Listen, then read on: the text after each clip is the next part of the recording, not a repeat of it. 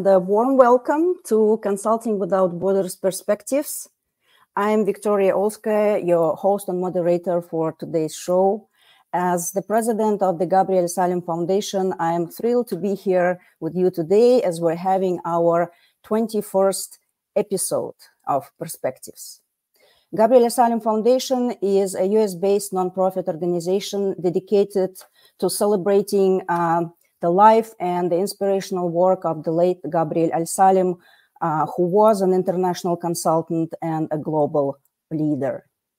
A month ago, on February 1st, Gabriel's birthday, we held our traditional annual event uh, during which we talked about ways to reimagine success and also presented awards to our amazing winners of the International Award for Excellence in Consulting. We had five winners uh, in categories ranging from human rights and youth empowerment to global leadership to environmental responsibility. And uh, you can find out about uh, the winners, their winning projects, and their impactful work on the foundation's website. Put it right here. Uh, so I hope you're all doing very well today on March 1st, uh, which marks the first day of meteorological spring. And uh, uh in many countries, it is also uh, celebrated as the first day of spring.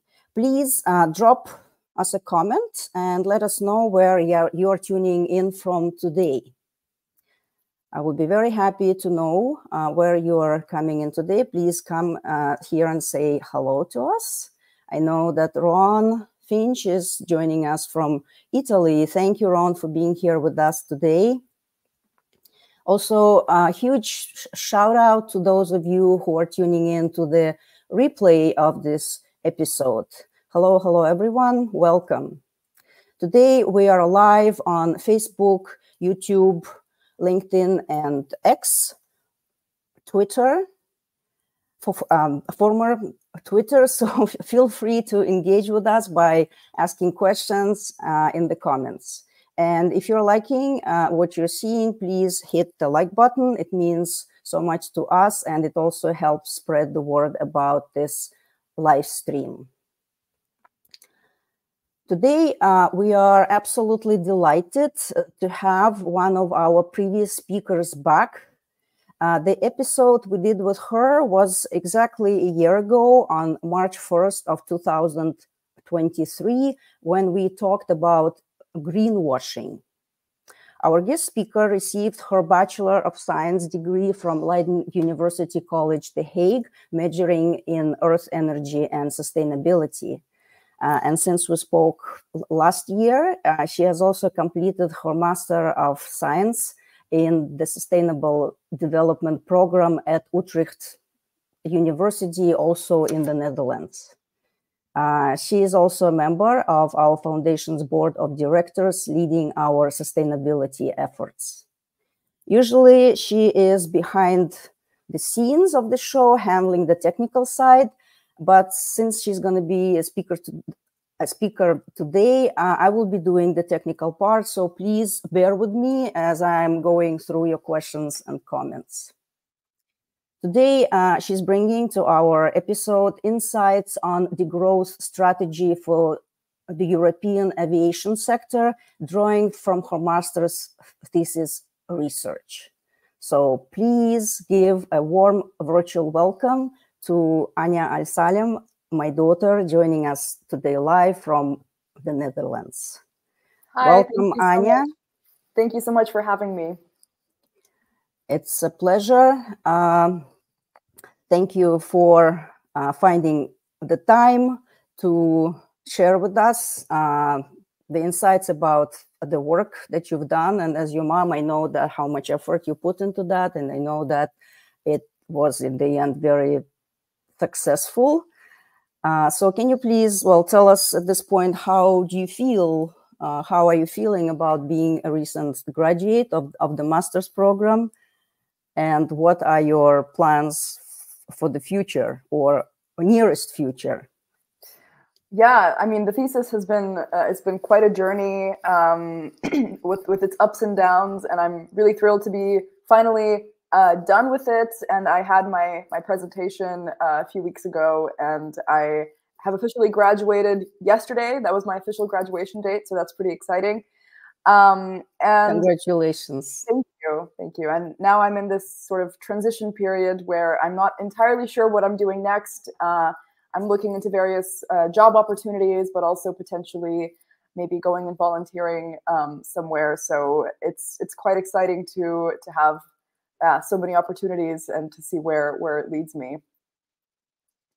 Well, this is wonderful. This is a wonderful time uh, in everybody's life when you've done uh, a big chunk of uh, very important work, and now you have all sorts of opportunities ahead of you. And um, I'm just wishing you, of course, always all the very best as your mom, as your colleague.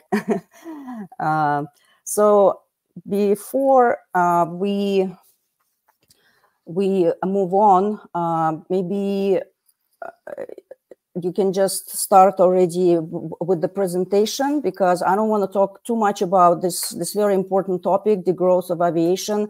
Uh, it is certainly uh, very intriguing because aviation is the mode of transport uh, with um, a very significant climate uh, impact. And uh, yet air travel continues to grow. And I know you've uh, done quite a bit of research uh, in this sector specifically and used some uh, interesting methodological approach. So please start sharing with us all of your insights and findings. And for those who are watching us, please start putting your questions in the comments and we will address them uh, after Anya's presentation. Yeah, so I will start sharing my presentation. Um, can you see uh, the presentation? Yes. Okay, perfect. So please just let me know if at any point uh, it stops, the slides stop uh, changing or anything, but uh, hopefully we don't have any technical difficulties. Um, so yeah, once again, thank you so much for having me. It's a pleasure to share the findings of my research with you and to talk more about this really important topic of degrowth of aviation. Um, so in my research, I, uh, as I will discuss later, I aim to develop strategic policy recommendations for degrowth of aviation based on a systems thinking approach, which I will elaborate on later on. But first, uh, just for some context, I'd like to start by saying that according to recent research, average global temperatures are projected to exceed 1.5 degrees Celsius above pre industrial levels as early as 2033, which is already less than a decade away. And warming above 1.5 degrees would cause unprecedented and potentially irreversible damage to human societies and natural ecosystems. This is why, in the coming decade, it is critical to make rapid and significant reductions in CO2 emissions. Now, the dominant policy response to climate change centers on the idea of green growth, which is the idea that technological innovation will allow us to decouple uh, GDP growth from CO2 emissions. However, research shows that this is unlikely to occur at a global scale rapidly enough to prevent warming over 1.5 or even 2 degrees Celsius, which is why we need to look towards alternative approaches to climate change mitigation. Now, this brings us to the idea of degrowth, which is a growing social movement and academic field calling for a democratically deliberated absolute reduction of material and energy throughput, which uh, consequently ensures well being for all within planetary boundaries. So, as you can see in this uh, graph, uh, degrowth advocates for moving towards a quote unquote steady state economy that respects planetary boundaries and is not dependent on economic growth. Now, while degrowth calls for an economy wide transformation, uh, in my research, I chose to focus on the aviation sector due to its high levels of projected growth and limited technological solutions for rapidly mitigating the uh, sector's climate impacts. Now, to illustrate how the sector is growing, um, I, am pulling up a figure from uh, a recent publication by the International Air Transport Association, which projects a 3.4% co uh, compounded annual growth rate in global air passengers up to 2040. Now, while emissions from global aviation currently account for about 3% of global CO2 emissions, the share of emissions from aviation is growing rapidly, and there's some research that suggests that emissions from international aviation may reach a share of 22% of global CO2 emissions by 2050. So this is definitely an important area of focus for climate change mitigation. Uh, and in addition to this, uh, aircraft emit other substances other than CO2 that yield a climate impact that can be up to three times worse than CO2 alone. Now, uh, the Waypoint 2050 report, which you can see here, uh, the cover page of, which was published by the Air Transport Action Group, sets out a pathway for the global aviation sector to reach net zero CO2 emissions by 2050 while continuing to grow the total amount of aviation activity. And uh, the measures proposed in this report are based on four main categories, uh, which are technological improvements, such as the development of hybrid or electric aircraft, operations and infrastructure, sustainable aviation fuel, and carbon offsetting. However, uh, independent research suggests that the green growth measures proposed in Waypoint 2050 are unlikely to contribute to a rapid reduction in aviation emissions, and it is essential to reduce the absolute amount of aviation activity, at least in the short term, to effectively mitigate the sector's climate impacts. And here on the slide, I'm highlighting two key reports, which were really foundational to my own research and um, I'd like to ask my mom to please uh, share the links to these reports because I think they're, uh, yeah, really great to look at. Um, the first of which is the Degrowth of Aviation report published in 2019 by Stay Grounded, which is a grassroots network campaigning for degrowth of aviation, which states that reducing the absolute amount of aviation activity is the only way to achieve a rapid and socially just decarbonization of the aviation sector. Uh, and the second report is titled The Roadmap to Climate Neutral Aviation in Europe, which was published in 2022 by the NGO Transport and Environment. Uh, and it says that demand management, um, so a reduction in demand, is the most effective means to reducing emissions from aviation this decade. Now, this brings me to my own research. Uh, the aim of my research was to develop strategic policy recommendations for degrowth of aviation. And in my research, I adopted a systems thinking approach. Uh, and systems thinking refers to making sense of a complex issue by looking at it in terms of wholes and relationships rather than splitting it down into its parts. Uh, and hopefully later on in the presentation, I'll make it a bit clearer for those who are unfamiliar with this approach, how it actually looks in practice. So in order to fulfill my research aim, I uh, had two main steps in my research. The first of which was developing a map of the aviation system, where I identified key factors and processes that are currently driving the growth of aviation, uh, thereby providing, providing a comprehensive overview of the issue. And as the second uh, step of my research, I used this map that I developed in the first step to identify key policy intervention points for degrowth of aviation. As for my methods, I uh, conducted 25 expert interviews with experts uh, in degrowth of aviation, as well as uh, representatives of the sector itself. And I also conducted a participatory expert workshop. And the scope of my research, um, because I had to, yeah, have a bit of a narrower scope than all of aviation, uh, so I focused on European commercial passenger aviation. However, I would expect that many of the findings uh, in my research uh, could be applicable to other parts of the world as well.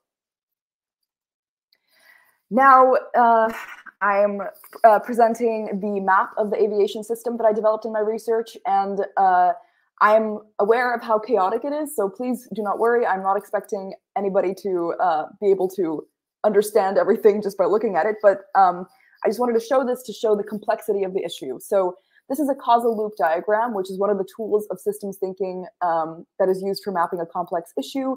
And, and in this particular case, um, this causal loop diagram shows the different variables and causal relationships that are driving the growth in aviation activity. Um, so this map is quite useful because you can uh, see how intervening in one part of the system, so for example, changing one of the variables, um, would affect other parts of the system or even the behavior of the system as a whole. And this is uh, very useful for strategic policy planning, for example, around degrowth policies. Um, so after developing this uh, causal loop diagram, I uh, used the causal relationships and feedback loops in this uh, diagram to identify key policy intervention points, which I am highlighting here. So the key policy intervention points that I identified are first, airline ticket prices, and second, aviation industry lobbying. So just to give a little bit of an idea of why these were the ones that I selected. So in, in, in identifying the key policy intervention points, uh, points, I aimed to look for variables that seem to play a key role in explaining the behavior of the system. So ones that um, where if you intervene on the variable, it would have significant effects on different parts of the system. Um, so this these are variables with high system change potential. Uh, however, I also was looking for the variables that would uh, are relatively accessible. So those with relatively low socio-political and physical barriers to intervention. Um, and this is why, uh, based on these criteria, I came up with these two uh, key policy intervention points, which I will elaborate on in the next uh, slides. So as I mentioned, the first of the uh, policy intervention points is uh, airline ticket prices. And uh, this stems from the fact that flying is currently very cheap, uh, largely due to tax exemptions of the sector and also the rise of low-cost carriers. So in general, the aviation sector is undertaxed and benefits greatly from state funding. This is due to various historical factors. Um, also, I thought it was interesting that one of my interview participants talked about the nationalistic pride associated with airlines a lot of the time, which sort of um, explains why they would benefit from state funding.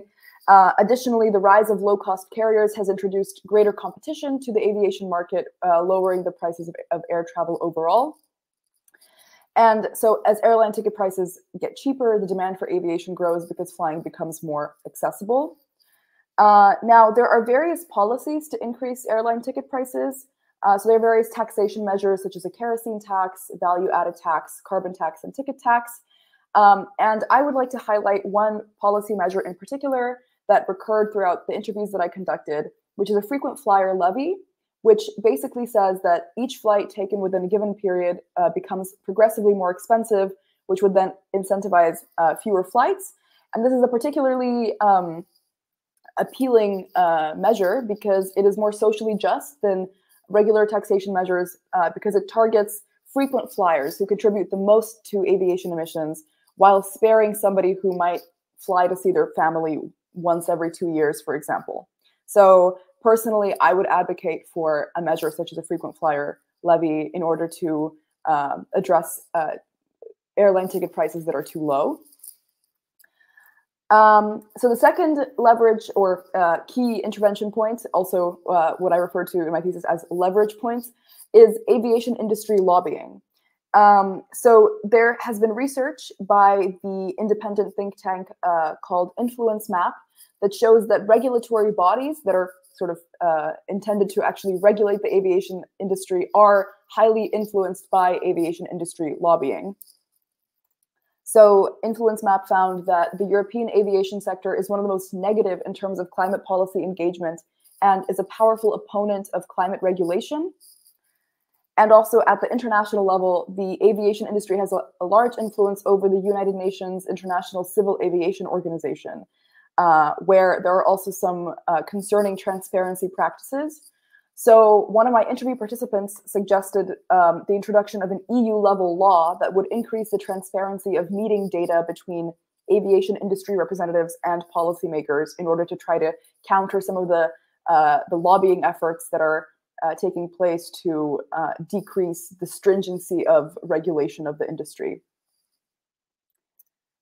Now, this leads me to uh, a few key conclusions of my research. The first of which, as I just explained, airline ticket prices and aviation industry lobbying present strategic entry points for degrowth policies for aviation. And the causal loop diagram that I developed, which I'm also happy to come back to if anybody has questions about, uh, offers a tool for strategic policy development for degrowth of aviation. And finally, thinking more broadly, systems thinking can contribute to the development of degrowth strategies in other sectors as well. Uh, so I think this is a very useful tool in thinking about uh, degrowth strategies as it provides a comprehensive uh, overview of an issue and really helps identify where we'd like to focus our efforts for degrowth. Uh, so that brings me to the end of my presentation, uh, and I'm happy to take any questions that might have come up during the presentation. I'll uh, stop sharing my screen so I can see the comments again. Thank you so much, Anya. Yeah, we had a few comments, and yeah, thank you to Dawn for joining us today. She was commenting uh, along um, as you were talking. Thank you uh, for joining us. Always a pleasure. And uh, as we are actually, we already have uh, some questions coming in. So maybe, yeah, Ron, thank you. Um, it's, uh, I guess it's more like a comment that Ron is posting about uh, lobbying bodies. You can see Anya. Yeah. yeah? Um, it, indeed, yeah. I think uh, lobbying is, is a general issue, and I, I would really, if, if anybody's interested in in the uh, corporate influence over climate policy in general, I would really recommend uh, checking out Influence Map. As I um, mentioned in my presentation, they they they look at the aviation sector, but also all sorts of different sectors, um, and they really uh, try to call out industries that are uh, negatively influencing uh, climate policy. And I think that's already a, a, great first step in in countering some of the negative uh, lobbying that is happening. But I agree, it's it's really a major issue. Um, yeah, so I see a question from uh, Dawn about American Airlines and other airlines increasing their baggage prices. Um, well, I think this is uh, actually just another way of, of to some extent, uh, decreasing. Um, uh, to some extent, I think this is this is a way of actually decreasing airline ticket prices uh, because um, it makes flying without baggage, I guess, uh, relatively cheaper. I, am not particularly familiar with this with this measure. I think maybe it's uh, something that's happening more in the U.S., which I wasn't looking into. But um, uh, I, I, also think these these sorts of measures are, are quite um, uh, you know incremental, and I think something I also wanted to mention about airline ticket prices and just the cost of flying in general. I think in order for it to uh, really change demand, it has to be significant enough uh, in order to actually stop somebody from flying. Because if we increase the price of a ticket by I don't know twenty uh, dollars or twenty euros, um, that's not going to stop most people from buying that ticket.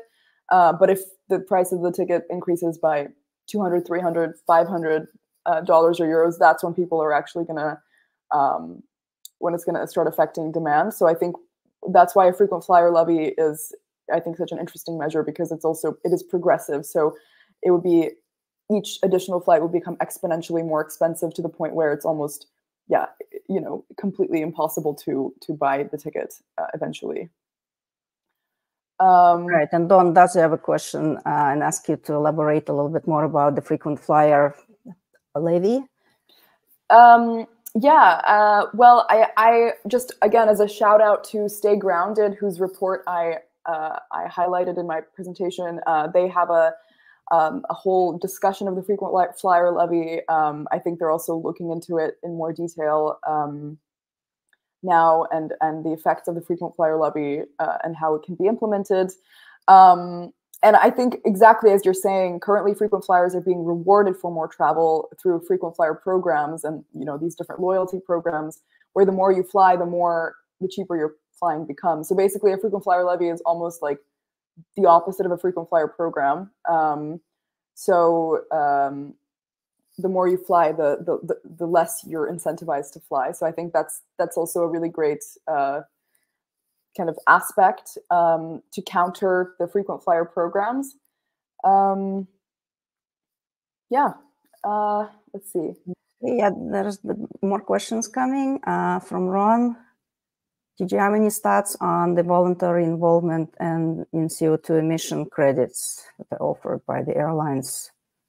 During bookings? Yeah, I, well, this is uh, related uh, to the carbon offsetting approach, which is very much, um, as far as I understand, please correct me if I'm wrong, but I, I think, uh, and I that's, uh, well, um, very much a green growth sort of uh, measure that I think is more of a distraction from uh, from more meaningful climate policy. So there's no way that paying you know some really insignificant amount of uh, of money to offset your uh, your flight is actually the correct or you know if it's actually a, a meaningful uh, contribution. So I think um, this is really more of a distraction than than something that's actually meaningful.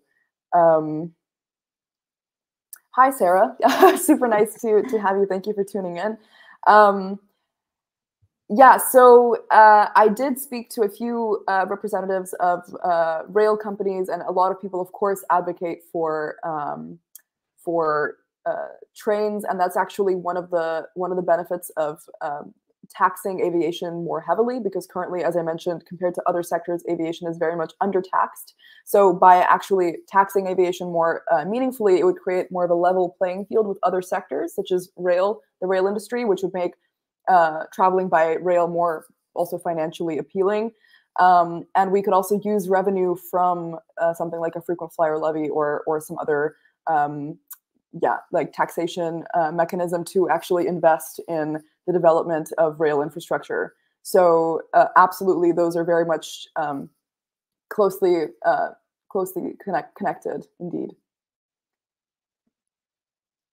We have more questions. And actually, I just wanted to also add that for those who perhaps missed part of Anya's presentation or joining us a little bit later or watching a replay, uh, we will be posting a link to her thesis, which has been officially published, right, Anya, on the Utrecht University uh, in library of, uh, uh, and then yeah, it will be it, it is available, uh, publicly available.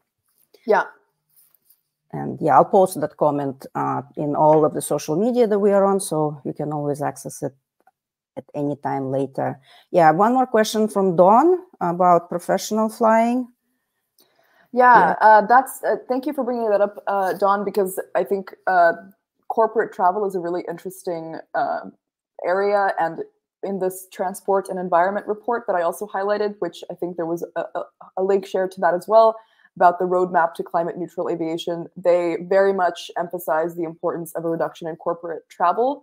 Um, especially as COVID uh, showed us that it is possible to uh, live without uh, flying to, for for work that it's possible to do a lot of things online um, and I do think, I, I, yeah, I think the idea that, that people are flying to COP uh, these, uh, yeah, the COP events is quite um, counterproductive. Uh, I, I personally would like to see um, uh, more, uh, yeah, sort of uh, development of, of more um, kind of online virtual working instead of uh, actually always having to be physically present for for co- corporate meetings and things like that. So um, uh, yeah, so I, I, think that's a that's a really important area of focus. Uh, and of course, a lot of the uh, a lot of business travelers are also uh, traveling business class, uh, which is also has a much higher contribution to overall CO2 emissions than somebody tra- traveling in economy class. So I think that's a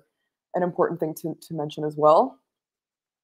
Um, yeah, and I uh, yeah, thanks for your comment, Dawn, as well. Uh, I think I think that's um, yeah, definitely something that that should be considered is how to use the revenues from from uh, taxing aviation to actually invest in alternative modes of transport transportation as well. Um, one question from Ron, and that was actually something that I was uh, almost about to ask. It's about the technological innovations and improvements and what role uh, they can play in the context of degrowth of uh, aviation. Yeah, I think that's a really interesting question. So uh, again, I'll, I'll, refer to the, the report by Transport and Environment, uh, where um, basically their argument uh, that they make in that report is that the current state of, of technological advancement uh, in aviation is not um, so basically technology is not going to contribute to meaningful reduction in the climate impacts of aviation within the coming decade which is why we need demand uh, management uh, efforts being made but there is the potential for uh, technology eventually to uh, get to the point where it is contributing meaningfully to climate uh, to to I mean, climate neutral aviation or or a reduction in um, uh, the climate impacts of the sector. So basically, what Transport and Environment argues in their report, um, uh, which I, I also recommend to read, but uh, is that uh, it's it's in the industry's interest as well, it, based on kind of long term ideas to um, to support uh, maybe a reduction in aviation now and invest in in um, or really promote you know policies that uh, support the development of uh, of technologies that would reduce the climate impacts of the sector so that in the long term there, there could be space for again green growth of aviation um, sort of in you know after 20, 2030 2040 however i also know that the degrowth argument uh, would be that we need to just in general rethink our relationship to travel and and mobility. And currently we are um, we're kind of used to the idea of being able to travel, you know, be on the other side of the world within a day, uh, and we live these live these very hyper mobile lifestyles where you can just fly somewhere for a weekend. Um, and I think uh, if we really, you know, take the degrowth argument in full, it would it would really promote um, thinking about travel differently and and um, yeah, and and uh, you know moving more towards more mindful, kind of slower travel um, uh, in general. So um, I think that's also important to think about. Thanks, Anya. We have a comment and a question from uh, Ardak uh, Akanov. Ardak, thank you so much uh, for, for tuning in. Great to have you here with us. So here's a question. Again, it's about business travel versus economy travel. Yeah. Uh, well, as far as I understand, I think well, business class tickets also cost a lot more um, uh, money. So you're basically you're you're sort of supporting the aviation industry more by buying uh, a business class ticket. Um, you're it's also um, they take up a lot more space within the aircraft. So if we had less space for business class, we would um, have more space for you know economy class, which would allow more uh, passengers on one aircraft, which would have a, a lower per capita climate impact. Um, so those are kind of the, the, the, main ways that I, I see business class being more you know problematic in terms of, of climate. Thank you. Yeah, and Dawn uh, again uh, elaborates on uh, technological improvements. Yeah, I think uh, Absolutely, and I also think that um, we also have to keep in mind that a lot of these, uh, you know, carbon neutral technologies that are also promoted for aviation uh, require re renewable energy. And if we continue growing the amount of aviation, then the amount of renewable energy that would actually be required to um, meet current demand or, or projected demand would be so would be sort of unfathomable. And of course, other sectors are also competing for would be competing for the renewable energy um, which is why again it's important i think to to continue investing in technologies but also reduce demand in order for the technologies to actually make a meaningful contribution to reducing the climate impacts of the sector. The same goes for fuel efficiency improvements.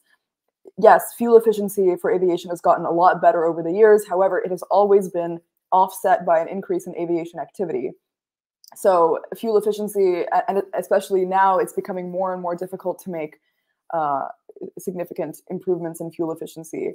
Um, so it really fuel efficiency is is is great, increasing the uh, fuel efficiency, but we also have to decrease aviation activity in order for that to have a, a an impact on on actual um, yeah the climate impact of the sector.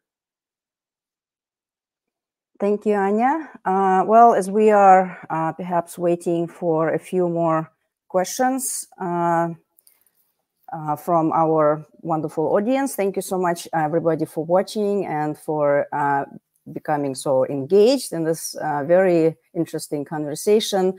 perhaps I have a more like a, a, a general question. what inspired you to focus on degrowth in in in your research?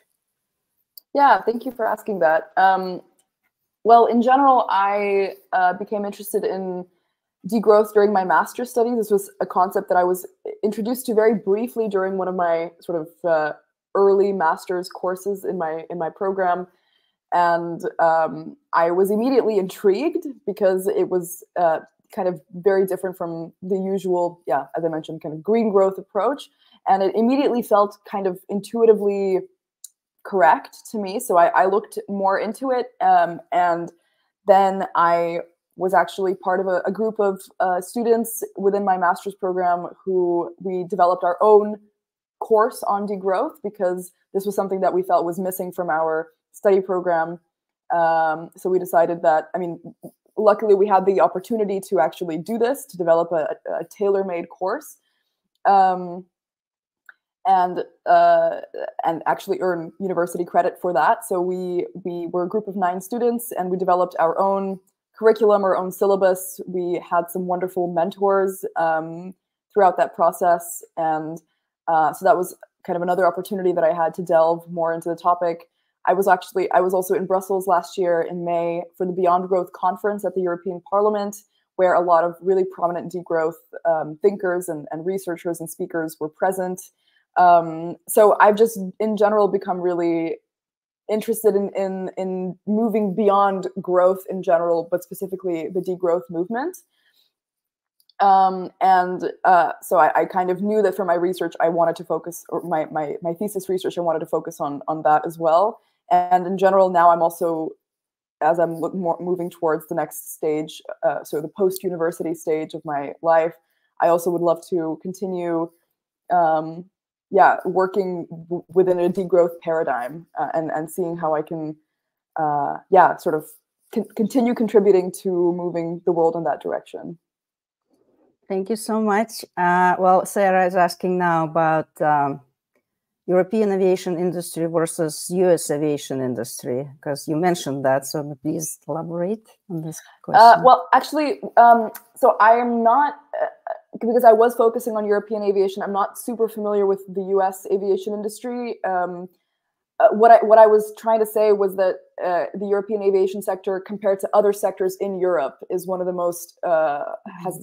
the largest some, one of the the largest kind of oppositions to climate uh, policy. So. Uh, again, I really recommend checking out uh, those reports by InfluenceMap. I'm also happy to share links to those if, if people would be would find those interesting. Um, I'd have to, to find find the links, but um, uh, basically, uh, I, I, think the term that they use in, in the reports is that the, Euro the European aviation sector is a, a, laggard compared to other sectors in terms of their climate policy engagement. Um, but this is specifically comparing aviation to other sectors within Europe. So I'm not actually sure how European aviation compares to US aviation, but I would speculate that Uf the US aviation sector is not great either. I can imagine so. Yeah, with, with the frequent flyer programs and um, Yep, it's contributing a lot. Uh, um, one, yeah, ask, has a question about uh, if you have any examples of the governments. Yeah, so so some examples, examples, of, of governments um, implementing some aviation policy. Uh, for example, France has uh, made some progress in terms of limiting um, short haul flights. Um, uh, and uh, in the Netherlands, the Dutch government has has made uh, efforts to limit the number of flights at, at uh, Schiphol Airport in, in Amsterdam, uh, which is a really big uh, in the international um, hub for for aviation. Um, however, again, these efforts have been met with a lot of industry pushback, and as far as I as far as I know, um, they have been very much watered down, if not abandoned completely. Um, a lot, a lot of the time, whenever a, a government tries to make some more radical, uh, you know, policy uh, changes in the direction of degrowth, uh, the aviation industry basically doesn't allow that to happen. Which is again why I think aviation industry lobbying is such a key, uh, yeah, intervention point, um, because uh, yeah, even if, if, if governments have, have good intentions and actually try to make certain changes, as long as the corporations have that much power, it's going to be very, very hard to, to, yeah, get the radical change that we're looking for. I agree with that, certainly. Uh, we have a very nice comment here from Dawn, who has been listening to your presentation and uh, about also your journey and how you started focusing more on degrowth in your studies and in your life. And Dawn is saying that she would like to have you talk at the workshop that she will be giving later this year. So this is wonderful. Yeah, thank you so much, Dawn. We really appreciate you being here with us. And well, certainly, if um, I'm sure Anya will be happy to uh, give another talk on yeah on this topic or any other related topics. Thank Yeah. you so much. yeah thank you so much for that comment and I, i'd love to get in touch about that workshop um, in general i always i i love any opportunity to talk about uh, degrowth and kind of spread spread the word um, so yeah thank you for that for that invitation Thanks, Dawn. Well, uh, we've got yeah, quite a few questions. So again, thank you to everyone who's been uh, posting, and um, we still have a little bit of time. So please feel free uh, to post your comments or more questions. And uh, meanwhile, as as we're waiting perhaps for more um, input, uh, I just wanted to ask Anya. Well, given everything that you've already talked about and the questions that you answered, how do you um, envision the future of travel uh, in light of your research and and your findings? Yeah, I think that's a, a, a- good question. I, I, I touched a little bit on on on this idea of the paradigm shift already, and I think that's really important. I think it's not just about you know reducing flying because we like have to, but also maybe um, yeah, just rethinking how we sort of live uh, in the world and and and uh, and how what role travel plays in our lives. I think very currently travel is very much destination oriented and we want to get to our destination as fast as possible. But i think if we would for example travel more by rail uh, rather than than than planes um, it would be a little bit more about the actual journey of getting somewhere and maybe sort of um, yeah being okay with with the journey taking a little bit longer and perhaps instead of going you know to the other side of the world for a weekend um, going taking a bit of a longer uh, time to get somewhere but actually staying there longer as well. So um, hopefully also with with uh, an increase in the op- in opportunities to work remotely and uh, again um, re- reducing corporate travel and and uh, hopefully that will also give us the opportunity to not you know have to be in one place all the time and give us more flexibility in, in how we travel. Um, i think it's also about um, being in, kind of enjoying our local environment environment more. So if we're going on a holiday, not necessarily having to fly to um, some tropical island somewhere, but maybe actually making use of uh, our local environment and um, enjoying holidays somewhere closer by that's reachable by by train, for example. Um, so I, I really think we we need to reconsider uh, how we travel and how we engage with um, with with travel in general. Uh, I, I, something I didn't really mention because my research was very much focused on you know reducing the climate impacts of aviation, but um, aviation is also a really really high, uh, highly unequal mode of transportation. So only 10% of the global population has ever been on a plane.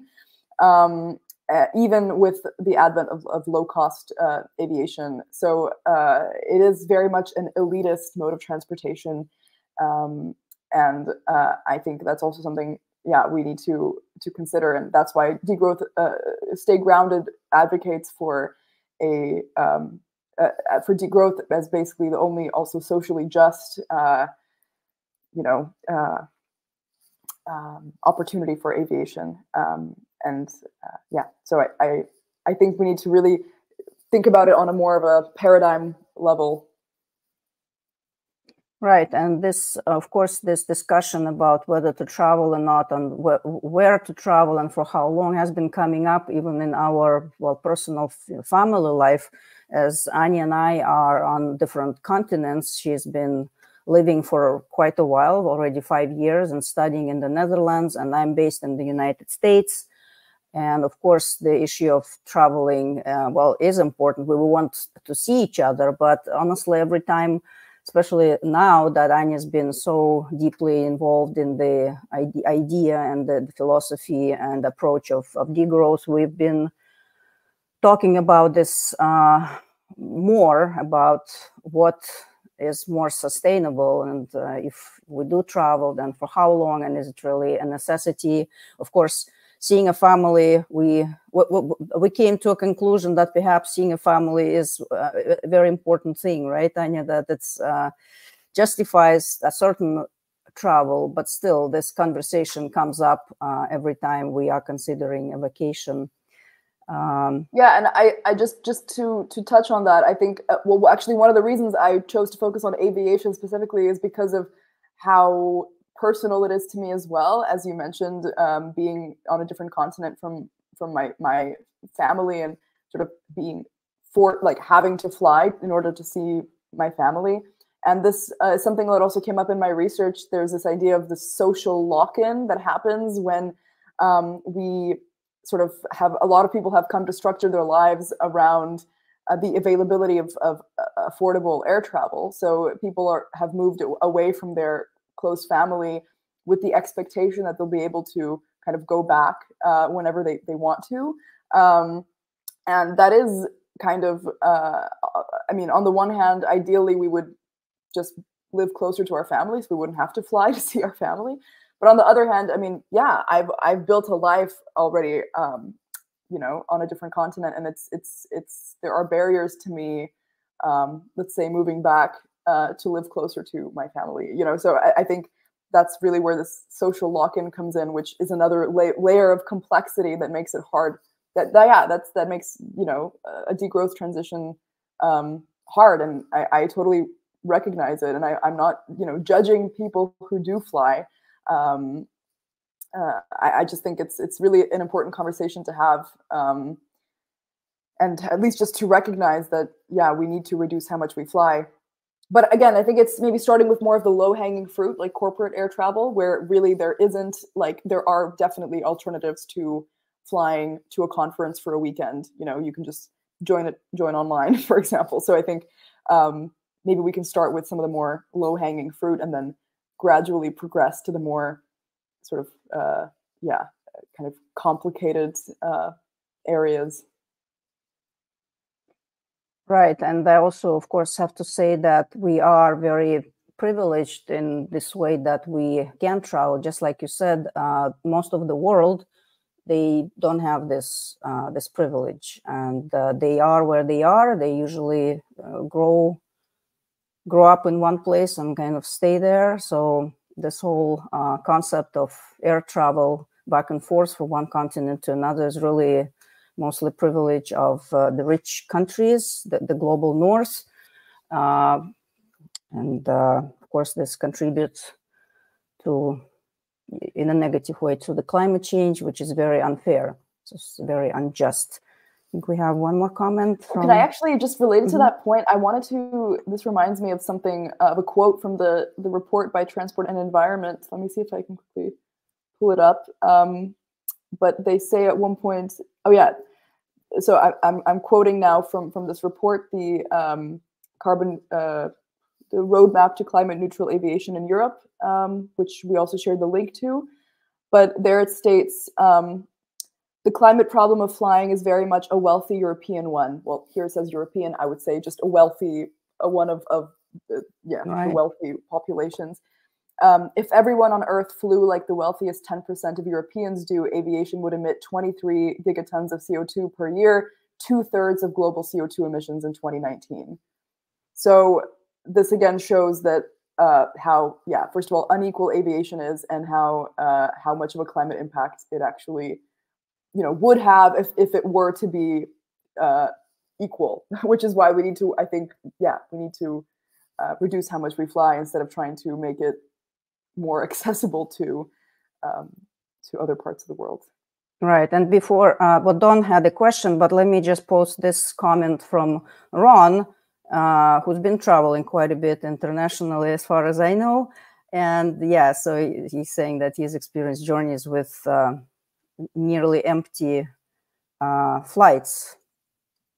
Yeah, that's and that's also the case. And, and, there's actually a very interesting paper uh, about the business model of uh, of of uh, of airlines and how um, it's currently based on really high volume growth with very low profit margins. And basically, the the authors of the paper argue for maybe a different uh, business model. Um, but but yes, absolutely. Um, sometimes flights fly at a very low occupancy. I'm not entire. I'm not sure to what extent like how big of an issue this is. I think most of the time, um, I mean, during COVID, of course, it was a different uh, situation when, yeah, planes were flying just like completely empty sometimes. But um, I think in general, um, yeah, flights are relatively full, um, at least in Europe. But uh, but I, I, do think it's yeah, it would be um, important to rethink the the whole business model of the aviation industry in general. Right, and perhaps there is some room for government regulation of this as well, just like Ron mentioned. Well, I want to go back to this question from Dawn uh, about uh, cruising across the Atlantic.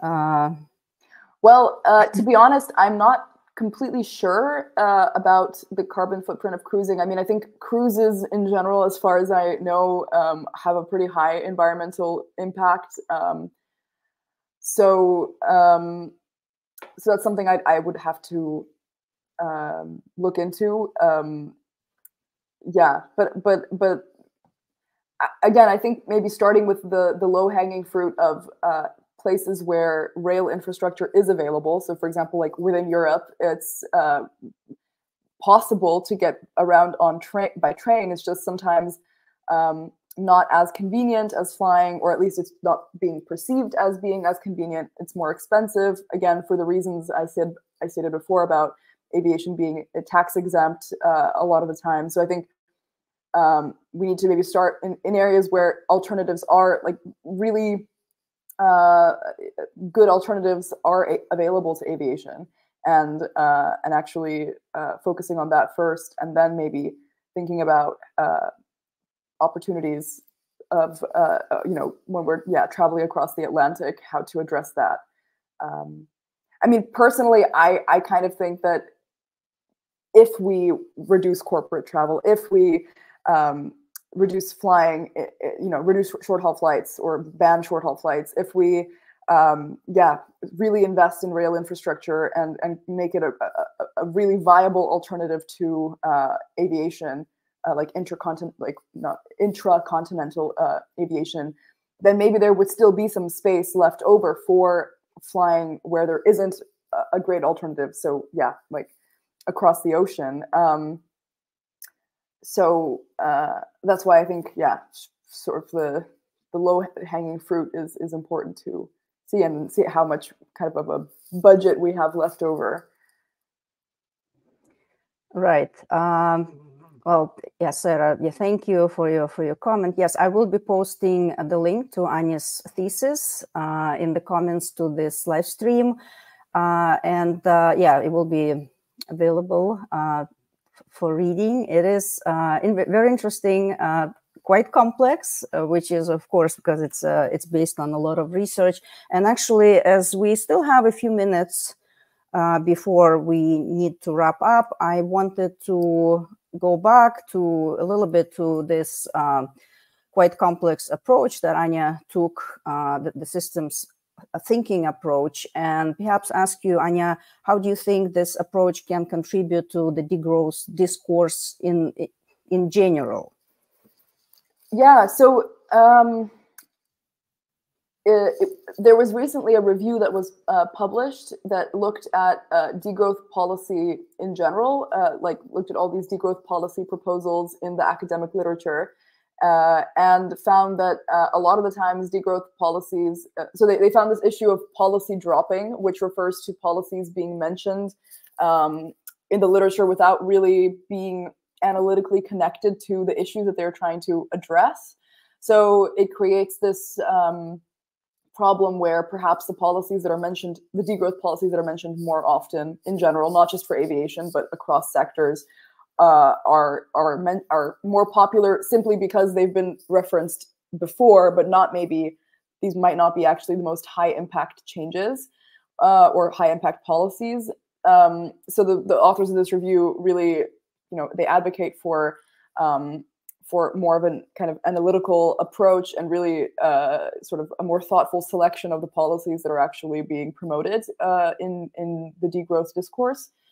Uh, which is where the systems thinking approach comes in because as I, uh, well, I didn't have a chance to really elaborate on the causal loop diagram, but um, looking at the, the issue and looking at the intricacies, intricacies of the issue and how the different variables affect each other and how what are actually the key factors that are driving an issue, that really helps us pinpoint which policies are actually the most effective um, in addressing a certain issue rather than um, just mentioning policies because they're popular and everybody talks about them. Um, and perhaps those are one and the same. Perhaps the most popular policies are also the ones that are the most effective, but perhaps we'll be surprised uh, and, and it turns out that something that has been kind of under uh, emphasized in the literature turns out to be more significant than we had originally thought. So I think systems thinking can be a really useful tool in degrowth discourse in general, especially degrowth policy discourse uh, which is also something I, I sort of try to emphasize in my thesis. Thank you very much, Anya. Uh, well, we're getting comments uh, with a comment from Ardak, thanking you for this, uh, all this valuable information. Then I want to thank Ardak for being here with us and participating. And uh, Dawn is very kind to say that this was a great way to kick off International Women's Day, which is, of course, coming uh, up very soon on March 8th and uh, will be celebrated in you know, many countries.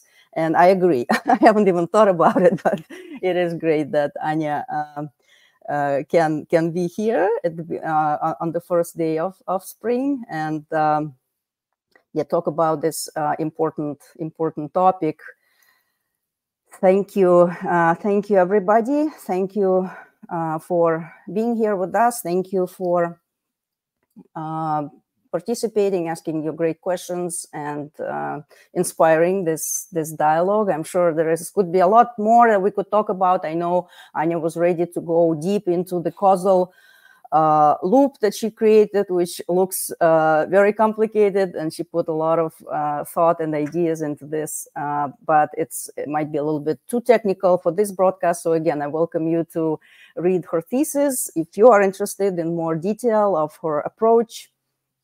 And uh, uh, meanwhile, I think we are nearing the end of the hour, and as I am. Um, the one handling the technical side. I'm going to put some uh, announcement uh, for the upcoming episode because, as you know, we are here live uh, on the first day of each month.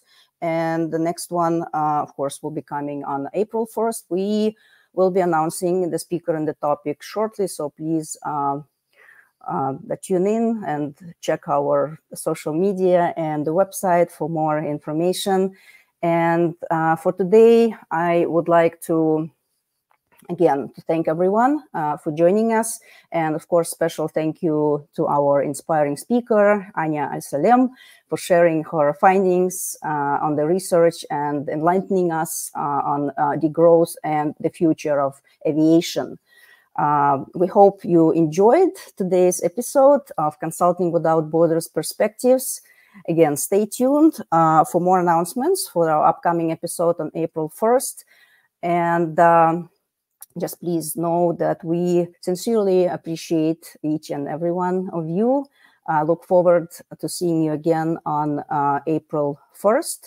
And if we don't have any more comments, I will be wrapping up here. So again, I'm wishing you uh, all a fantastic first months of spring, wherever you are. Take care and goodbye. Thank you, Anya. Thank you.